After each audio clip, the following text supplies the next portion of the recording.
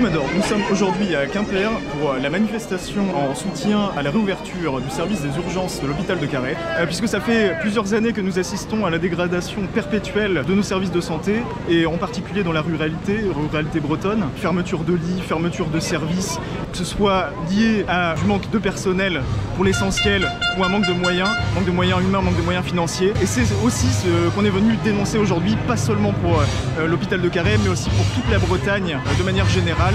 puisque euh, on retrouve ce genre de situation sur tout le territoire breton et ailleurs.